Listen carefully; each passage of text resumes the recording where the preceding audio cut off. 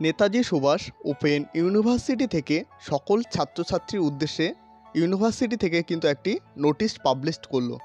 তোমরা দেখতে পাচ্ছ এখানে ডেটটি লেখা রয়েছে ছয় নয় দুই তো নোটিশে কি বলা হলো?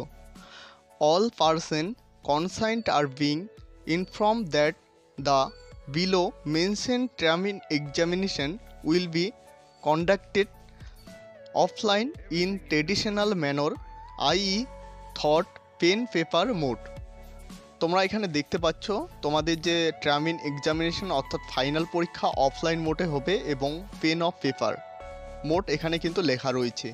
তোমরা এখানে নিচে দেখতে পাচ্ছ BDB term end examination twenty twenty two and June twenty twenty three তোমাদের কিন্তু এখন অনলাইনে হচ্ছে, কিন্তু পরবর্তীকাল তোমাদের অফলাইনে পরীক্ষা দিতে হবে।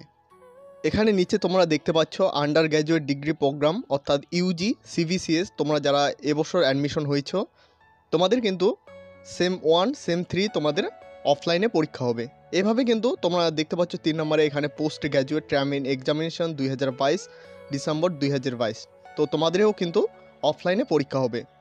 এক কথায় বলতে গেলে তোমাদের কিন্তু এরপর থেকে তোমাদের অফলাইনে পরীক্ষা হবে। তো এই ছিল নোটিশটি নোটিশটি শেষ পর্যন্ত দেখার জন্য অসংখ্য ধন্যবাদ।